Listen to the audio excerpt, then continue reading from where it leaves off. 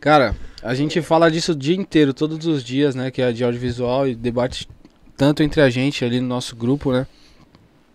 Que é legal expor isso para as pessoas, às vezes é um jeito de pensar que pode, às vezes, incentivar alguém a começar isso, porque às vezes as pessoas têm um bloqueio de achar que elas precisam sempre pagar para fazer alguma coisa, precisam esperar aquela grana que vai vir para fazer um curso, e aí ela não acaba se estagnando, evoluindo, se decepcionando, se frustrando.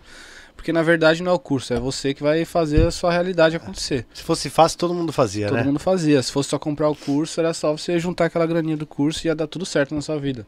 Mas você tem que ir atrás, mano. Você tem que ir atrás, tem que botar em prática todos os dias. Como é tocar um instrumento também, você tem que botar em prática. Eu falo isso tipo para várias áreas, tanto os eventos como o instrumento. Para mim sempre foi no audiovisual o lance de constância mesmo, de tentar errar mesmo, errar, fazer errado para fazer certo e experimentar coisas novas, ser ousado, não ter medo. E é isso, eu